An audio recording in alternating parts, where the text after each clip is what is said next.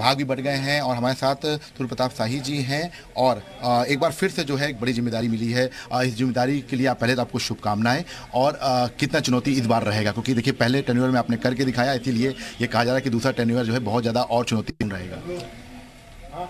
जो पहले हम लोगों ने किया हुआ है, उसको और गति देंगे और पुराने अनुभवों के आधार पर उसे किसानों को और कैसे लाभान्वित किया जा सकता है उस पर हम लोग काम करेंगे।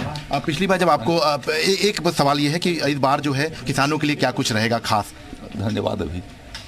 तो आप देख सकते हैं कि फ़िलहाल सुशील प्रताप साई जी हैं और तमाम जो अधिकारी हैं उनके साथ उन्होंने अभी बैठक भी की है और ख़ास बात ये भी है कि लगातार अब मंत्रियों के विभाग बढ़ गए हैं और उनका कहना है कि इस बार क्या बेहतर किया सकता है उस पर विशेष ध्यान दिया जाएगा।